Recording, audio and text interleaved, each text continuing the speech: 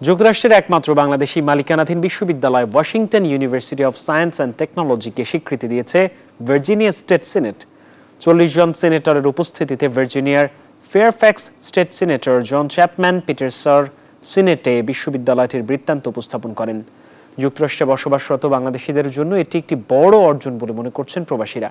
Desk রিপোর্টে বিস্তারিত।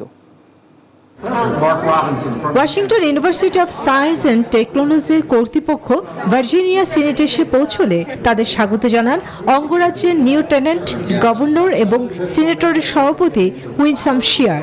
পরে বিশ্ববিদ্যালয়ের প্রতিনিধি দলকে পরিচয় করে দেওয়া হয় সিনেট সভায়। এ সময় যুক্তরাষ্ট্রের একমাত্র বাংলাদেশি মালিকানাধীন বিশ্ববিদ্যালয়টি সম্পর্কে পরিচিতি তুলে ধরা হয় সিনেটে। চল্লিশ সিনেটরের তুমুল করতালিতে স্বীকৃতি পায় বিশ্ববিদ্যালয়টি।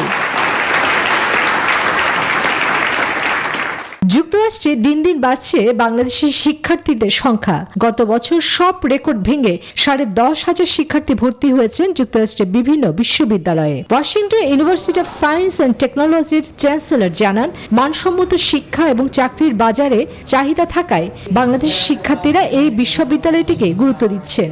এই স্বীকৃতি, এই সম্মান বিশ্ববিদ্যালয়কে আরও ভালো অবস্থানে নিয়ে যাবার জন্য প্রতি মুহূর্তে আমাদেরকে উৎসাহ যোগাবে ভার্জিনিয়া সিনেটরের স্বীকৃতি বিশ্ববিদ্যালয়টির জন্য অনুপ্রেরণা যোগাবে বলে মন্তব্য করেন এর president in the history of Washington University of Science and Technology. This was the testament of our contribution to the society at large.